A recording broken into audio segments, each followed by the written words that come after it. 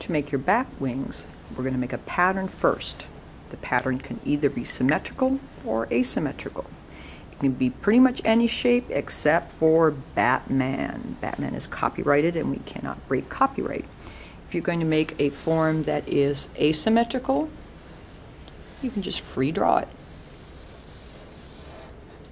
Not a traditional bat, but it'll work. If you want yours to be symmetrical, symmetrical means it matches left to right.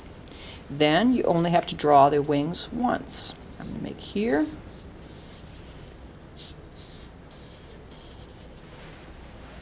Draw once, cut once,